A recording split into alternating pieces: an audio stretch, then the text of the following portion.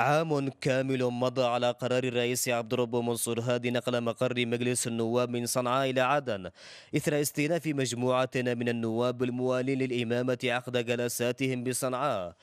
ورغم تعهد الرئيس هادي بالعمل مع رئاسة مجلس النواب المؤيدة للشرعية واستئناف نشاطه من عدن فإن المجلس لم يتقدم أبدا في سبيل تنفيذ القرار الرئاسي القاضي بنقل مقره للعاصمة المؤقتة.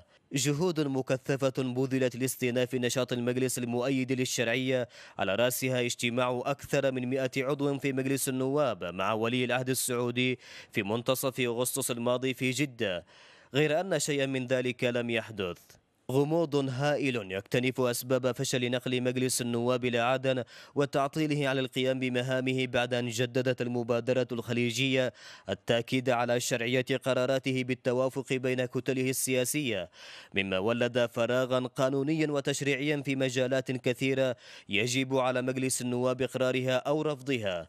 مراقبون اعتبروا أن التهديد الأمني في عدن الذي يستهدف مؤسسات الشرعية قد يكون وراء فشل نقل مقر المجلس للعاصمة المؤقتة خاصة مع تزايد الأنشطة التي تمولها الإمارات ببناء مؤسسات انفصالية من السلفيين الموالين لها في الجنوب دون أي شرعية قانونية أو دستورية.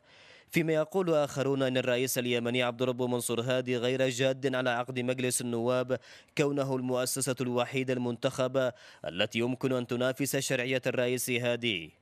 وبين هذا وذاك فإن تعطل مجلس النواب ولد فراغا دستوريا وقانونيا كبيرا. خلف أزمات سياسية واقتصادية ليس أقلها أن رئيس الوزراء أحمد عبيد بن دغر لم يحظى بتأييد مجلس النواب ولم يقر المجلس أي موازنة مالية للدولة.